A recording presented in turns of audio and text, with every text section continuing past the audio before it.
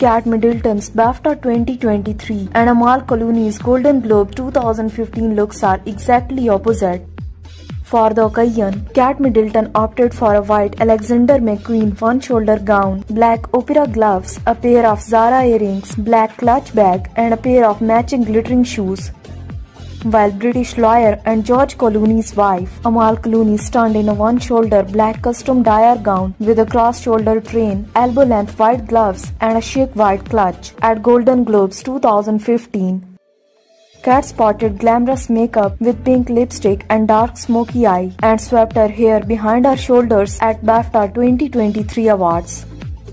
Amal accessorized her look with diamond drop earrings, pink lipstick, and smoky eye makeup. Her dark chestnut locks were styled in a deep side parting with some soft waves through the ends.